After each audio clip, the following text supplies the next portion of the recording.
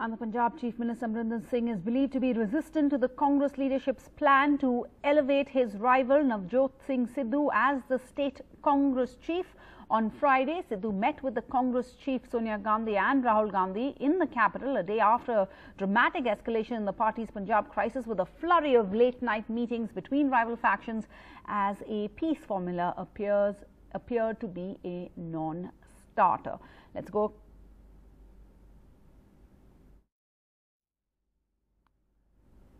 So now reports that the Punjab Chief Minister Captain Amarinder Singh is expressing apprehensions on the possible appointment of Navjot Singh Sidhu as the state party chief.